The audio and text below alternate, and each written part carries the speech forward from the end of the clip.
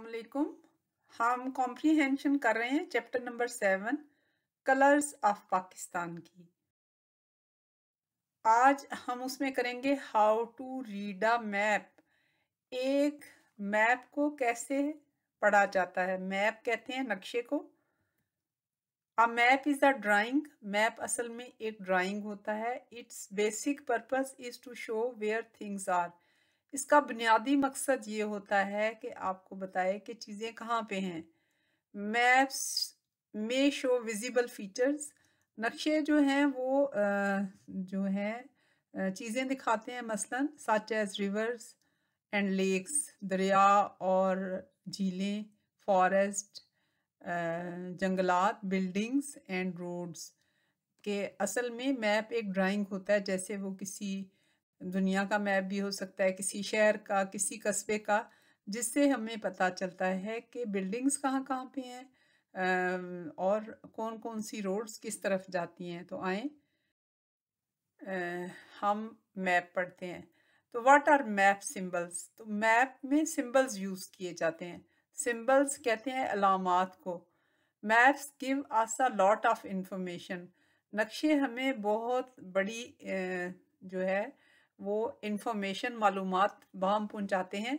And there is not much room for labels लेकिन उन मालूम को लेबल करने के लिए ज़्यादा जगह हमारे पास नहीं होती। So we use symbols to save space तो हम अलामत का इस्तेमाल करते हैं ताकि हमारे पास जगह बचे। And make the map easier to read और नक्शे को पढ़ना हमारे लिए आसान हो जाए। सिम्बल्स में भी सिंपल ड्राइंग्स सिंबल्स जो हैं, अलामत जो हैं, सादी ड्राइंग्स भी हो सकती हैं, लेटर्स लेटर्स भी हो सकते हैं, अल्फाज short and words are coloured shapes are areas और उसके लिए जो है, मुख्तलिफ़ तरह की अशकाल को भी रंग किया जा सकता है। The places on the map, अब ये आपकी बुक में एक मैप दिया हुआ है तो अब हम इसको पढ़ने की कोशिश करते हैं। अगर आप इसको देखें तो ये मैप की है on the right hand side इसमें जो है वो map will always have a key to list and explain the meaning of symbols use.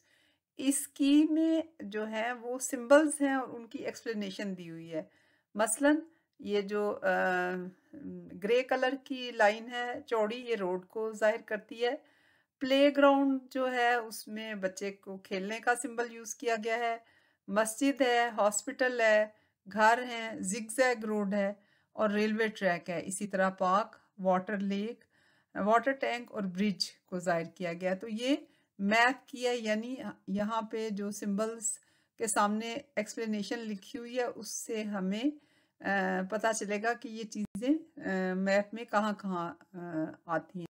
मसलन आप देखें कि ये मैप में स्केल दिया होता है, यानी ये तो एक छोटी सी ड्राइंग है, लेकिन इसका एक सेंटीमीटर में भी, हंड्रेड किलोमीटर को ज़ाहिर करता हो कि ग्राउंड के ऊपर इस जगह का नक्शा जो है, वो ज़ाहिर है कि बहुत बड़ा है। ये तो एक छोटी सी ड्राइंग है तो इसलिए स्केल दिया होता है कि यहाँ पे एक सेंटीमीटर से आप कितने किलोमीटर या माइल्स जो हैं वो मुराद लेंगे। फिर उसके बाद मैप के ऊपर आपको ये दायरे के अंदर जो है इसकी डायरेक्शंस बताई होती हैं। नॉर्थ साउथ और ईस्ट और वेस्ट ताकि आपको पता चले कि कौन सी चीज़ किस डायरेक्शन में आपने जाना है। तो अब यहाँ पे देखें ये प्ले ग्राउंड है तो इसमें प्ले ग्राउंड में बच्चा खेलने का आ, साइन लगाया हुआ है। फिर ये जो है मस्जिद यहाँ पे है और यहाँ पे जो है वो हॉस्पिटल है। ये जो है घर होम बने हुए हैं यहाँ पे। और ये जो ब्लैक एंड वाइट जो है ये रेलवे ट्रैक्ट है। और फिर उसके बाद ये आप देख रहे हैं कि फॉरेस्ट पार्क जो है इसमें दरख्त का सिंबल इस्तेमाल किया गया है। और ये जो है वाटर टैंक है।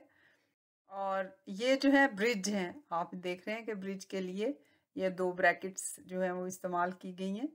तो प्यारे बच्चों, पाकिस्तान का मतलब क्या? ला मोहम्मद रसूलुल्लाह। और हम अल्लाह से तारुफ कैसे हासिल कर सकते हैं? अपने नबी से जान पहचान कैसे कर सकते हैं? जब हम अल्लाह की किताब को तर्जमे के साथ पढ़ें, क्योंकि हम, हमारा एक नज़रिया है मुसलमान है तो आज से अपने ऊपर लाजिम कर लें कि आपने कुरान मजीद को तर्जुमे के साथ पढ़ना है। उम्मीद है आपको वीडियो पसंद आई होगी, इसको लाइक करें, शेयर करें और चैनल को सब्सक्राइब करें।